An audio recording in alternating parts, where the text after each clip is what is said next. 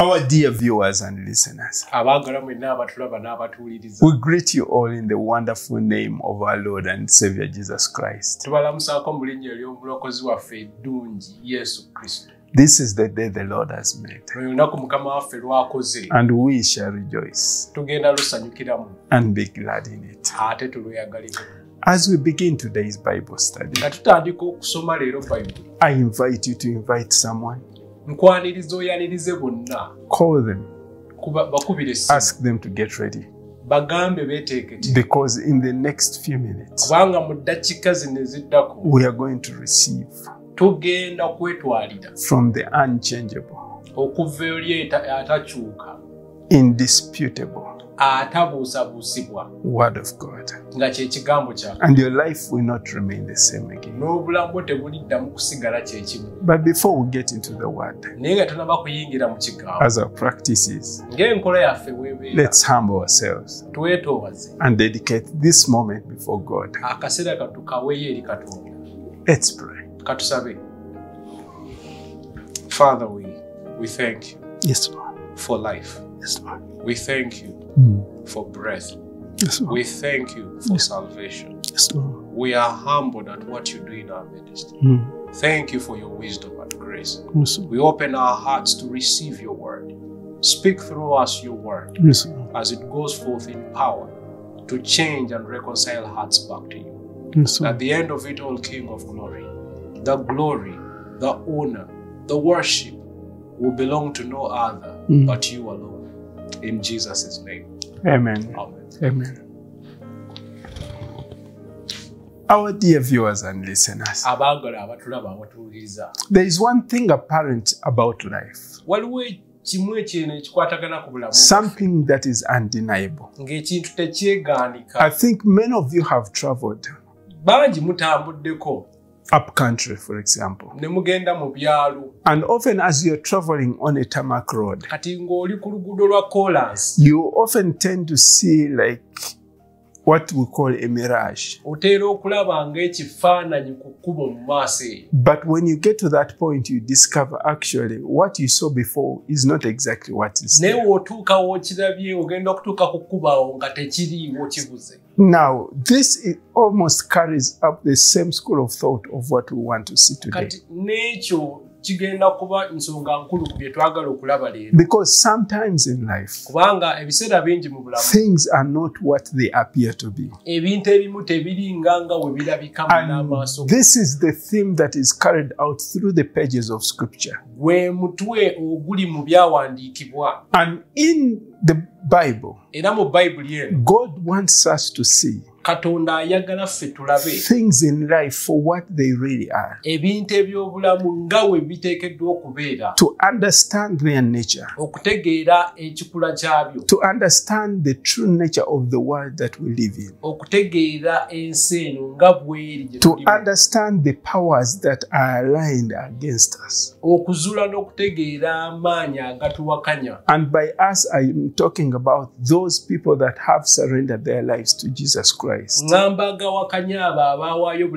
yesu and who considered him to be the personal Lord and Savior. He wants us to understand our true selves. Through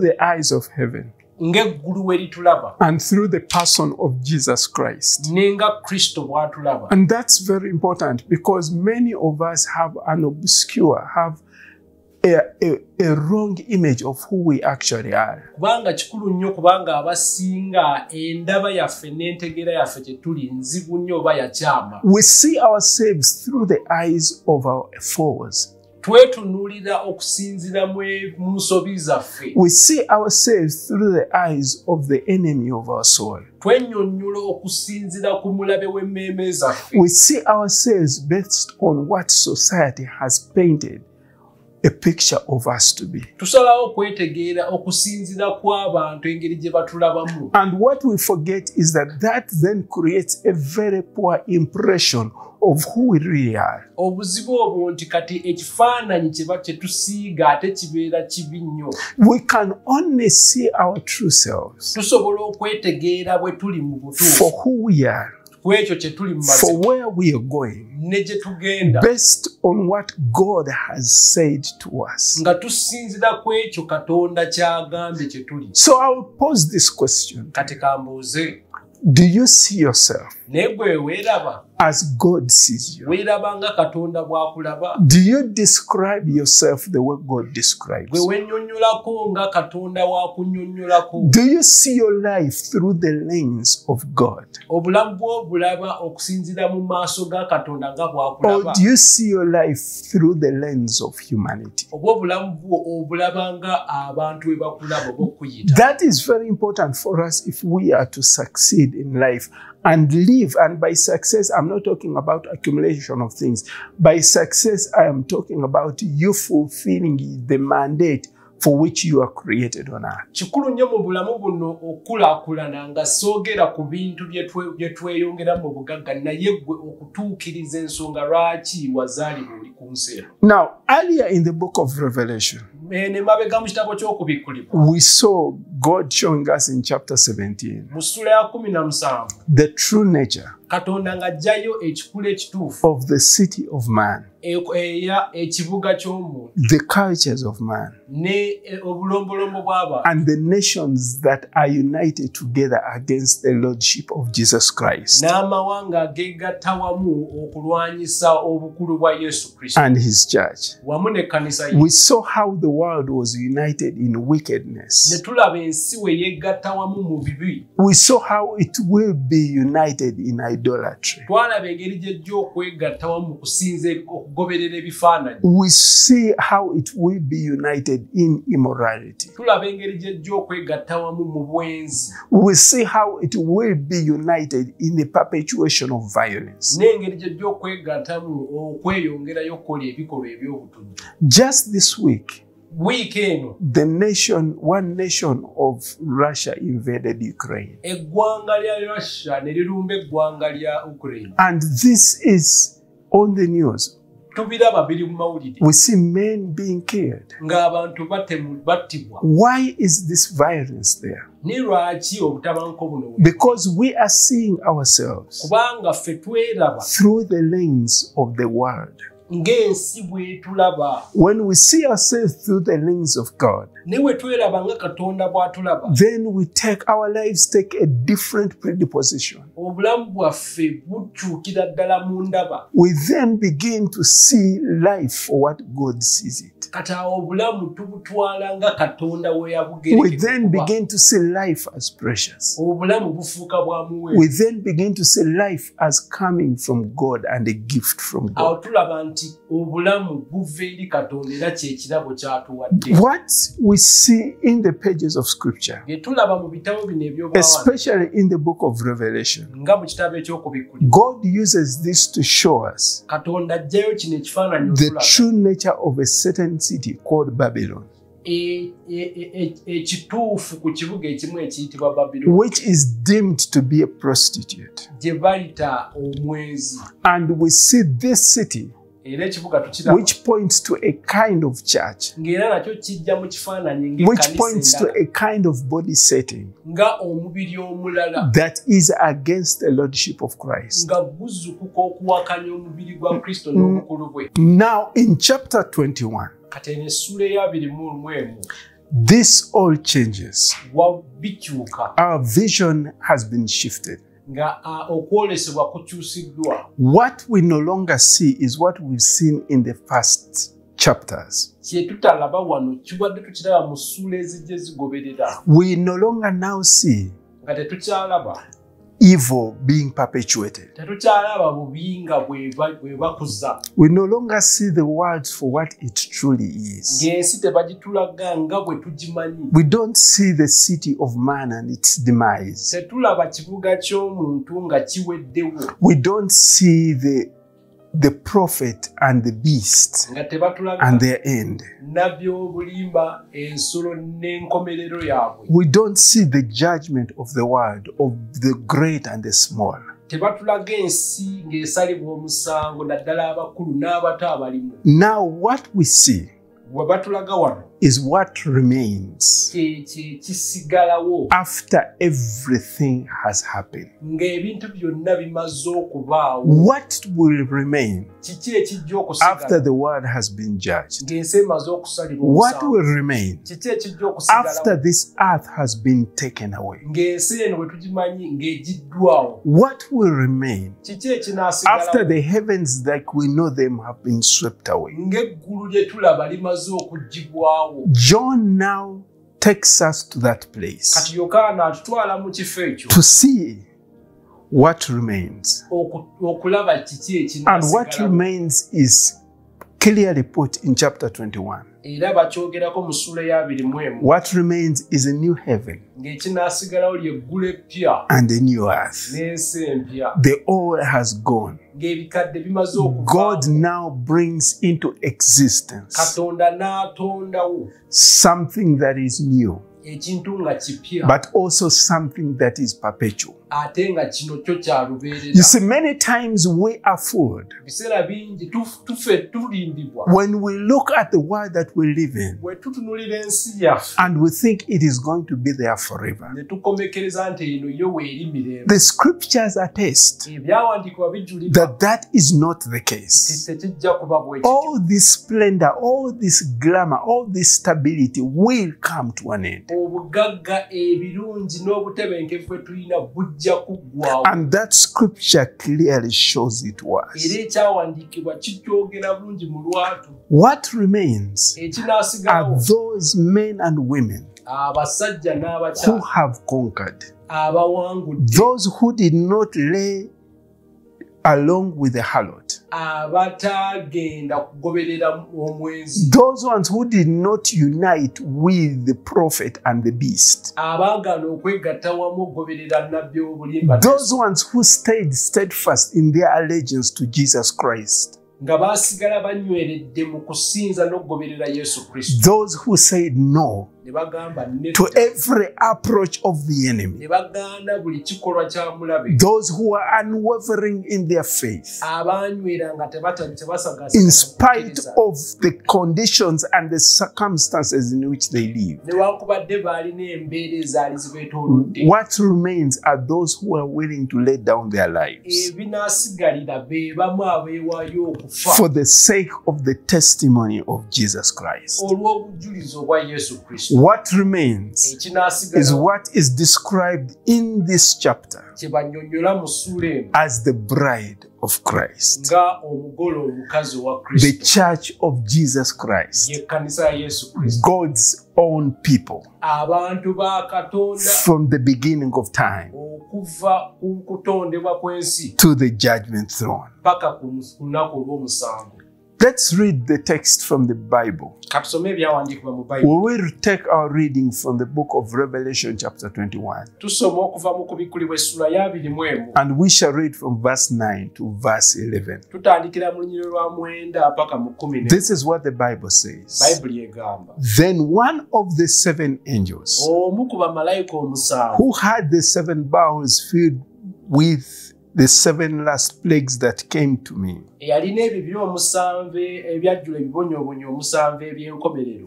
And talked to me, yajja n'ayogera nange. Saying, ng'agamba nti Come, jangu I will show you the bride, naakulaga omugole the Lamb's wife. mukazi w'omwana gw'endiga. And he carried me away in the spirit. N'antwala mu mwoyo to a great and high mountain ku lusozi olunene oluwanvu. and showed me the great city, n'andaga ekibuga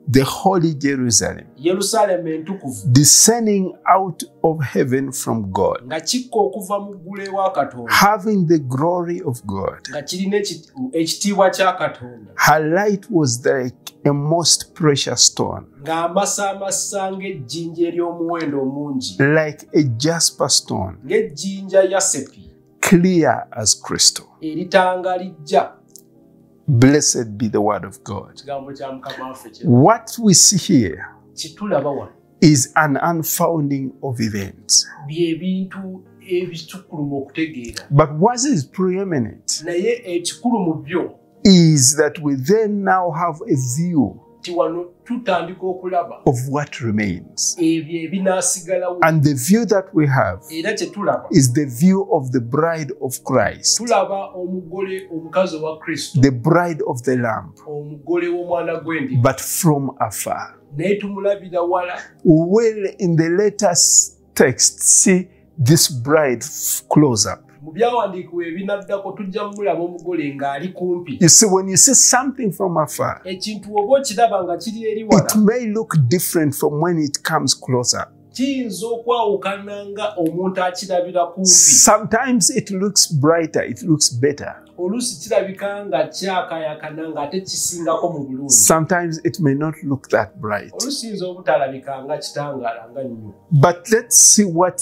this bride looks like from afar. John calls to memory that one of the seven angels we have encountered previously, those that were responsible for the plagues that will be poured upon the earth. And these plagues will be poured as bowls that these angels will go out with to the world.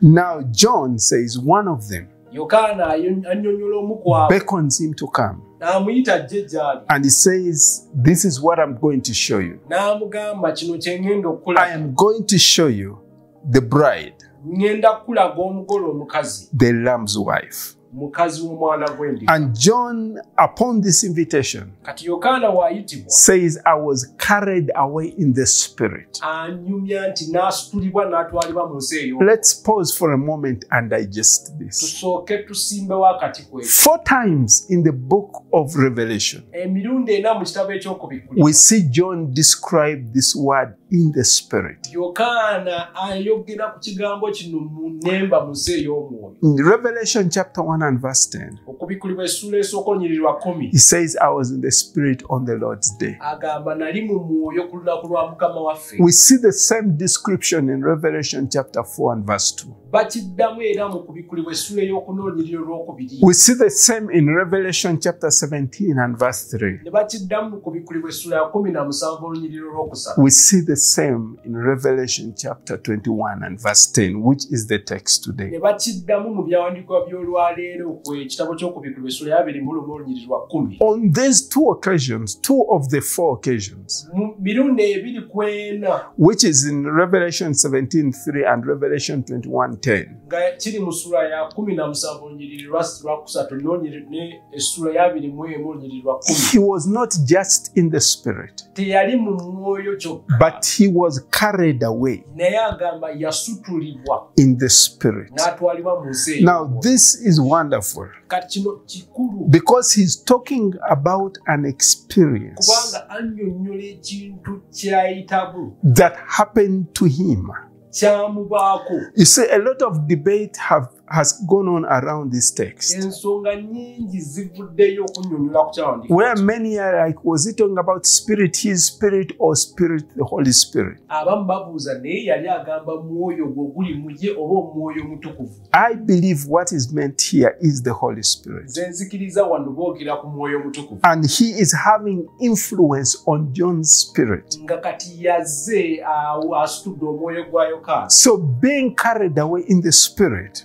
Okusitulibwa n'otwalibwa mu nsi is an experience that has actually happened in the Old Testament. ekyo ekintu kyaliyo ne mu ndagaano enkadde Rose, in the book of Ezekiel, mu kitabo kya ezekiel chapter 8, essula ya verse munaana 3. olunyiri olwokusatu. Ezekiel chapter 11, verse 23. ne bakiddamu ezekieri kumi na lumu olunyiri olwokusatu. Ezekiel had a similar experience. ezekieri naye yayita mu kintu He was taken by the lock of his head. Kati bamusitula baasitula mutwe ne bamwambusa and he was lifted by the Spirit n'asitulibwa omwoyo. and brought into the vision of God, ne bamutwala mu kwolesebwa kwa where God God revealed to him Jerusalem, where he saw its idolatry, n'alaba okusinza ebifaananyi. its corruption, and the glory that was about to depart. n'ekitiibwa kye balina nga kituuse okuggwawo So it is very possible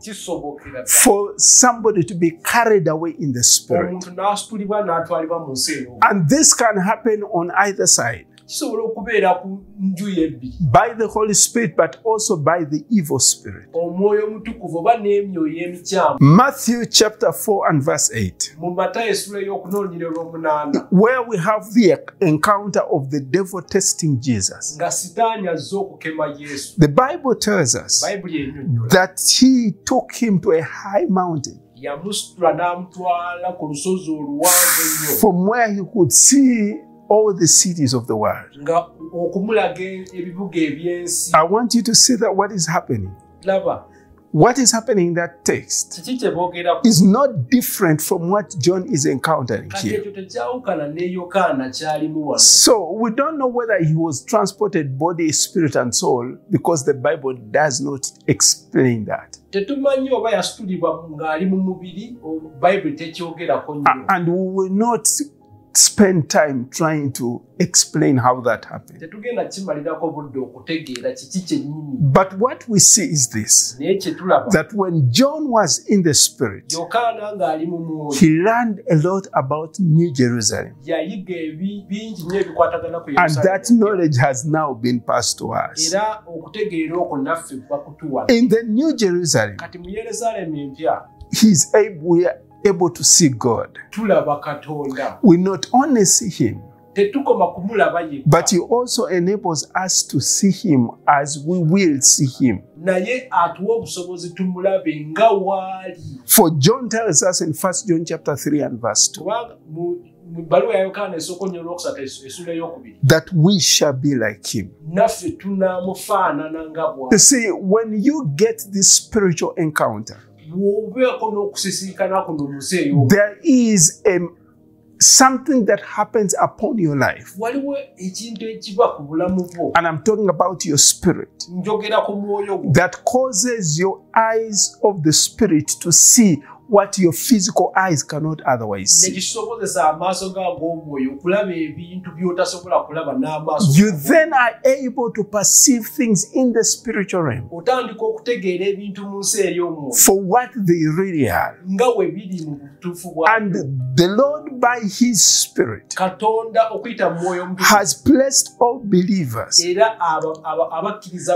in the class of eligibility. Era abatadde mu busobozi obwo where we are able nti naffe tusobola to see what is happening in the spiritual realm, okulaba biki ebigenda mu maaso mu nsi ey'omwoyo not by might, not by power, nga si lw'amaanyi oba obuyinza but by the Spirit of the Lord. naye okulungamizibwa kw'omwoyo wa katonda Through this, we are able to see what God is seeing. awo tulaba ebintu katonda by'alaba We are able to see what God is doing. Tulaba katonda by'akola. And we are able to align our spirits and our lives ne tutereeza emmeeme zaffe n'obulamu bwaffe. to what God wants us to do in this time and season of our lives.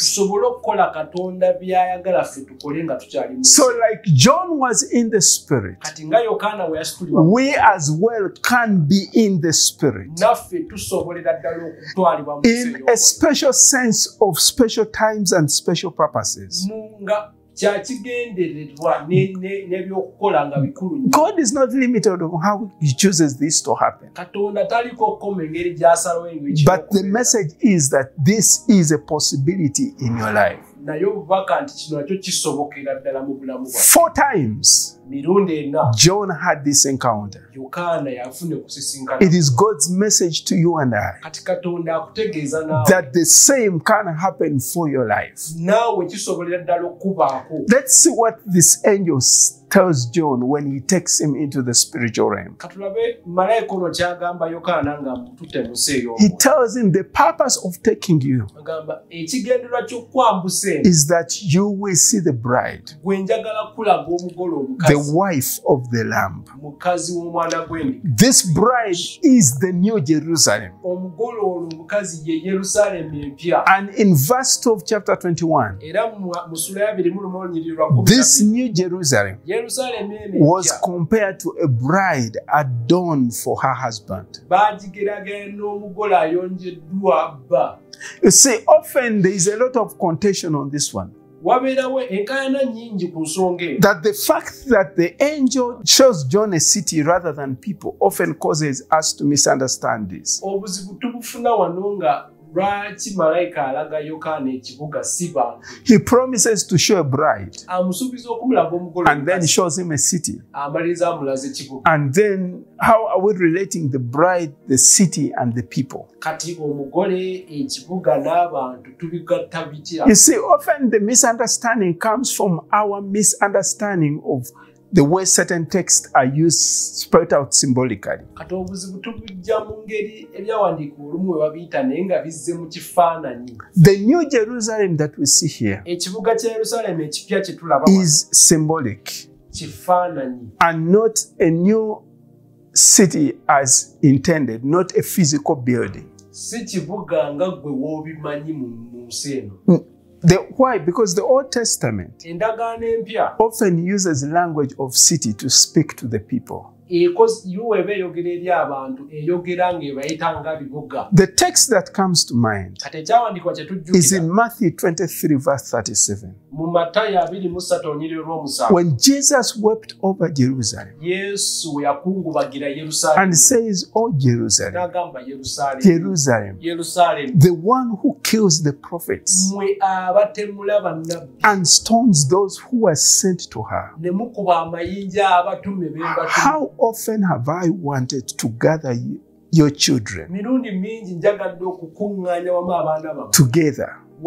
as a hen gathers her chicks under her wings? Wait a moment. Jesus is speaking about Jerusalem, yesu ayogera ku kibuga yerusaalemi but he's not talking about the buildings naye tali kwogera ku bizimbe because the buildings were not killing the people. ebizimbe si bye ebyali It was the inhabitants of Jerusalem abatuuze mu yerusaalemi who were murdering the prophets. be baali batta bannabbi It was the inhabitants abatuuze of Jerusalem that Jesus wanted to brood over. yesu be yayagala okuwambaatira It is is the inhabitants of Jerusalem. And, Jerus- and their children that Jesus wanted to bring over to his fold. Yet when he speaks, he is not speaking the people of Jerusalem. He's saying, Oh Jerusalem, yet referring to the inhabitants of Jerusalem. Hope you get the message. So when they talk about the new Jerusalem coming down, and if scripture is to interpret scripture, the understanding we draw from here that this will be re- literal but also symbolic. This refers to a people, but more so, this refers to our destiny symbolically. This refers to a city according to scripture, having the glory of God. ekirina ekitiibwa kya katonda. Her light, the Bible says, was like most precious stone, like jasper stone, clear as crystal. nga kimasaamasa ng'ejjinja ery'omwenda erya yasepi So basically, what this means that the city is personified ekibuga bakyogera ng'omuntu and is the person called the bride of Christ. ng'omuntu oyo kati ye mugole omukazi owa kristo Let me put it for you clearly. that the, this city that the Bible talks about speaks to our future selves. How will we look from afar when we come down in the new world or the new earth the Lord has created. So John is bringing to us this picture of our future selves. And look at our future selves as described in verse 11. It says we will be having the glory of of God. Yes, we have Christ in us, the hope of glory. When we do the acts that God wants us to do, what men see is God's glory kati abantu bo balaba ekitiibwa reflected in our lives. nga kyekiyita mu bulamu bwaffe But there is something more to it. naye waliwo ate ekisingako This. I told you, is a foretaste of what we shall be. nabagamba kino kwe kusunako ku kintu ekinene kye tujja okubeera When the city is revealed, when we are revealed, the Bible says, having the glory of God.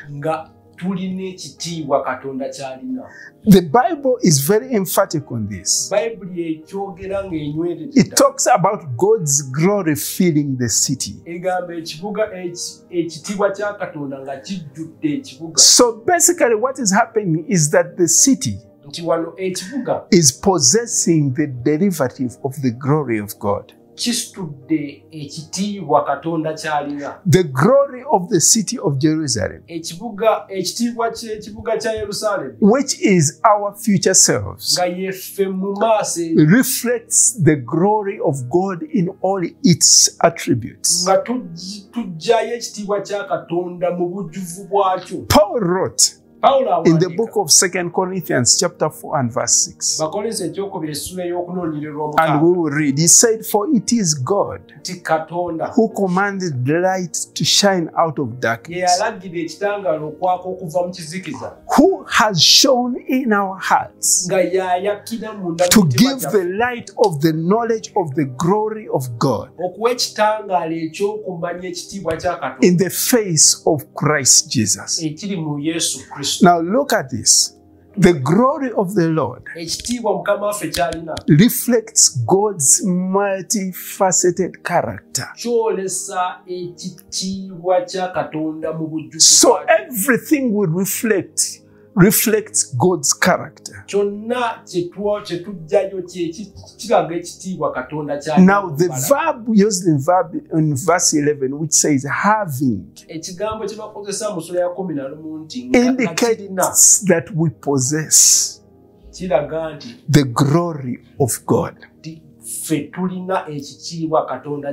And the reason we have this glory era ensonga lwaki tulina ekitiibwa is because God is present. kubanga kati katonda ali mu masekati. God is present amongst us. katonda ali mu ma- mu ffe. And because He is dwelling in kati us, kubanga atuula because ffe. He's dwelling in this city, era atuula mu masekati who is our future estate, nga yeffe mu biseera eby'omu maaso. We then have kati naffe tulina His glory. ekitiibwa kye Glory is the radiance of God's being. ekitiibwa ekyo kwe kwakayakana okwa katonda kyali So when we talk about the glory of man, the glory of man comes when man radiates God's being. ekitiibwa ky'omuntu kikka watandika okwolesa katonda nga bw'ali Let me take you back in the beginning. The. Bible says in the creation story mu kutondebwa that God got dust out of the ground katonda n'akwata ettaka okuva mu and molded man n'abumba omuntu and breathed into his nostrils n'assa mu nnyindo ze the breath of life. n'assiza mu nnyindo ze omukka And ogw'obulamu man became a living being. omuntu n'aba omulamu We see now man taking on God's being. kati katonda atwala obuntu obuntu bwa katonda And he's therefore able to radiate God's glory. n'alyoka atandika okwakayakana ng'avaamu ekitiibwa katonda ky'alina The same way the Holy Spirit comes on the day of Pentecost. mu ngeri y'emu ng'omwoyo mutukuvu yaka ku lunaku lwa pentekoste And the first one of the characteristics was the wind era ekimu ku bo- kye boogerako yali mpewo blowing. Ng'ekunta So the wind takes us back to the beginning when God blew. Empewo eno etuzzayo mu lubereberye katonda we yassiza omukka So it is not accidental. tekyagwawo So this is how the Holy Spirit comes upon man mu ngeri y'emu omwoyo omutukuvu engeri eh, gyakka ku muntu and he dwells in man n'alyoka atuula munda so that then man can radiate God's glory. omuntu alyoke ayakayakanye ng'afulumya ekitiibwa Let's kya pray Katonda. unto Zechariah. So the people that receive the Holy Spirit through faith in Jesus Christ abantu bonna aba- abafuna omwoyo omutukuvu ng'amaze okukkiriza mu yesu then join the class that is eligible, ne bayingira mu kibinja ekyo ekigwanidde that has met the terms and conditions ekituukiriza obukwakkulizo bwonna to be able to reveal the glory of God. batandike okuggyayo ekitiibwa kya katonda So it is only those people abo be bokka that can reveal God's glory. Abasobola okwolesa ekitiibwa kya because God's glory kubanga ekitiibwa kya katonda is the radiance of God's dwelling, of God's being. kwe kumasaamasa okulaga nti katonda atudde waali. So we not only experience God's glory, tetukoma ku- kuyi- kufuna ku kitiibwa katonda kyalina but we also reveal God's glory. naye tumala ne twolesa ekitiibwa katonda kyalina And this overwhelms our senses. This overwhelms, it transcends anything that you can comprehend. kisukkuluma ku kutegeera okuli munda mu ggwe But the point is this even with the glory we now experience, naye n'ekitiibwa kino kye tulina kati it does not compare to what John is trying to say here. He says her light was like the most precious stone, nga kulinga ejjinja erisinga omuwendo like a jasper stone, ejjinja lya yasepi clear as crystal. Now, let me help you understand. kankuyamba okutegeera I have had the opportunity to see a jasper stone.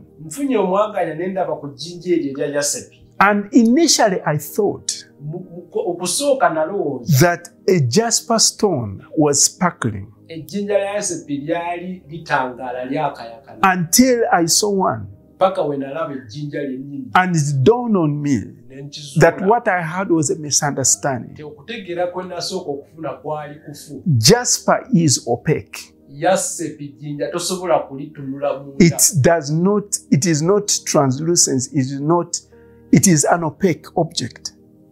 jjinja lino teryakayakana It is not clear.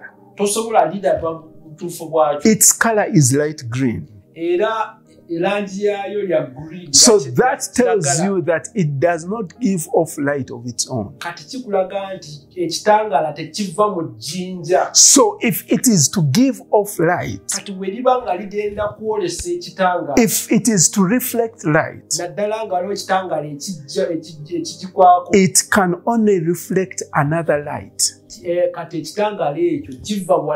not its own. Tekina- tekisibukira mu jjinja Similarly, mu nkola y'emu with us, we don't reflect our light. tetwolesa kitangaala We don't reflect our glory. tetwolesa kitiibwa We reflect the glory from another who is God twolesa ekitiibwa nga kivudde eri mulala nga ye katonda that dwells in us. ate nga yatuula mu This is what the writer Paul writes in the book of Philippians, chapter 2 and verse 15. pawulo kyagamba mu kitabo ky'abafiripo essula yakubironyirirwa Listen to what he says.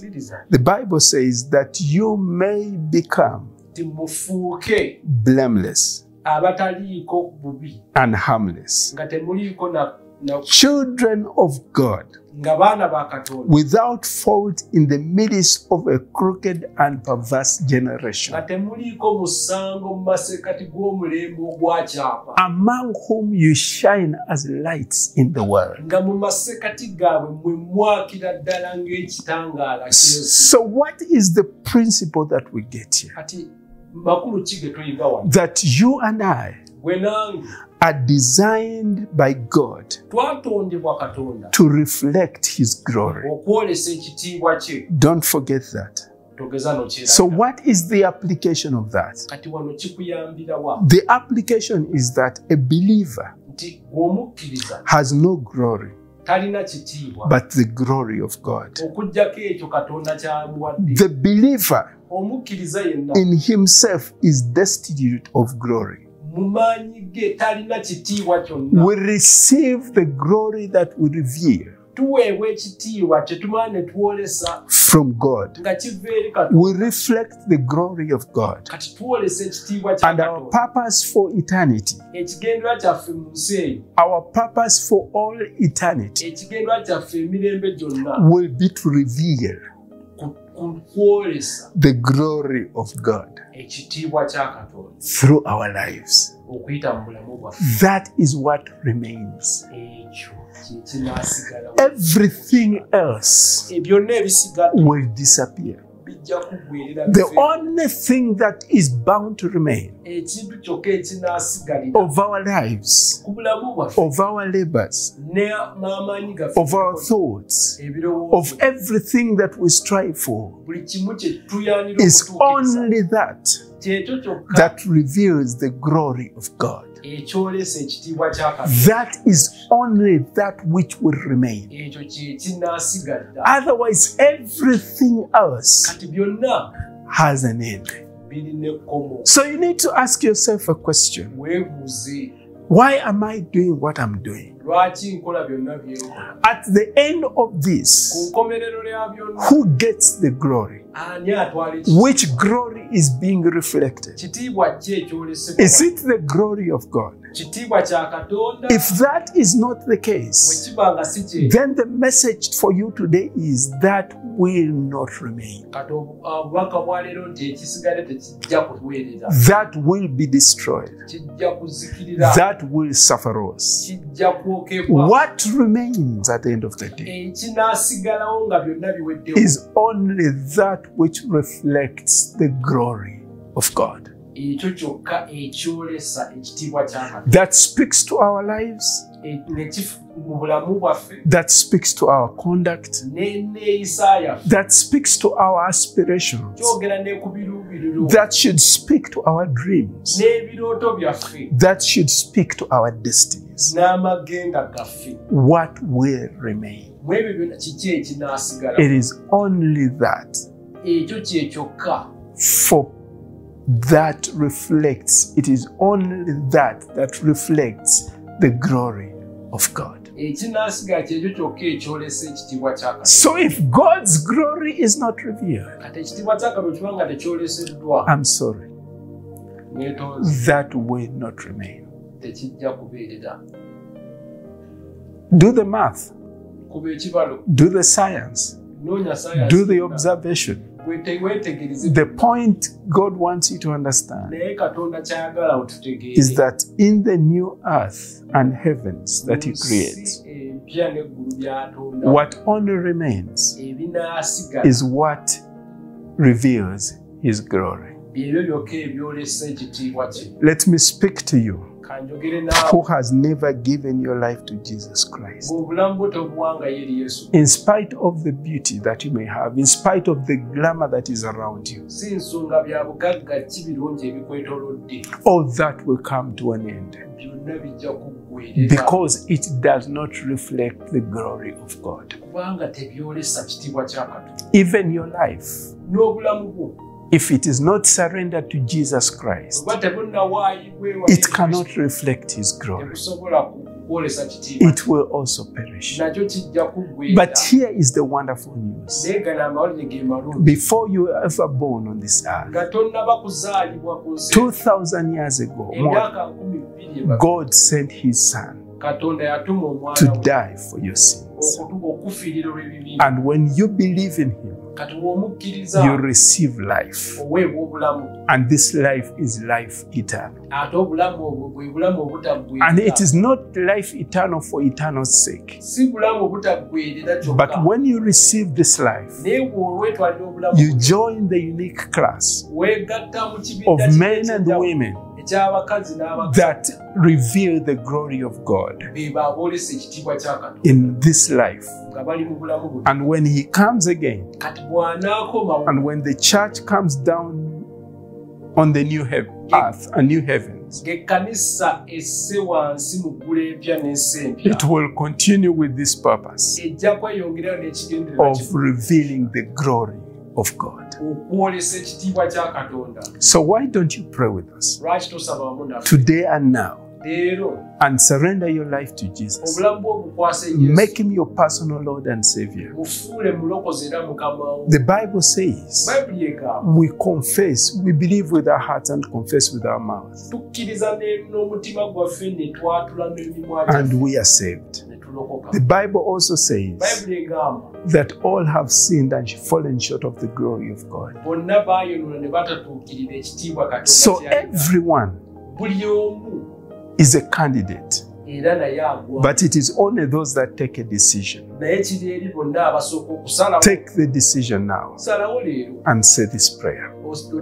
Say, God of heaven, creator of the universe, I believe that all men have sinned, and you sent Jesus Christ kyenva watuma yesu as your son to die on the cross afe ku musaala for sinners like me.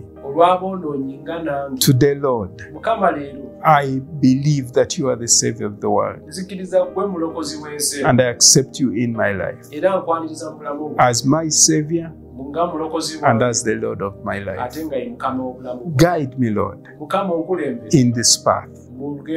Guide me, Lord, in this new revelation. Lead my life by your Holy Spirit. And help me, Lord, that my life will be a reflection of your glory, both now and forevermore. Thank you for saving me. In Jesus' name, mu linnya erya yesu amen. Now, if you have said that prayer, bw'omaze okusaba esaala you've been wonderfully saved. Call that number on the screen. Somebody will pick it up and will talk to you. Give you the first instructions in the faith. For you who is born again, don't overlook this fact. Your life is intended to reveal the glory of God. God richly bless you as you go about revealing God's glory okwolesa ekitiibwa kya katonda as a light to those and around you ng'ekitangala eri banna abakwera in the world that you now live in. mu nsi gwe gy'olimu So, from Dominion Church, kati okuva mu kkanisa we'll continue to pray with you. We'll continue to pray for you. And we believe the best is yet to come. So, till next week, we say, God richly bless you. mukama akuwa omukisa Shalom.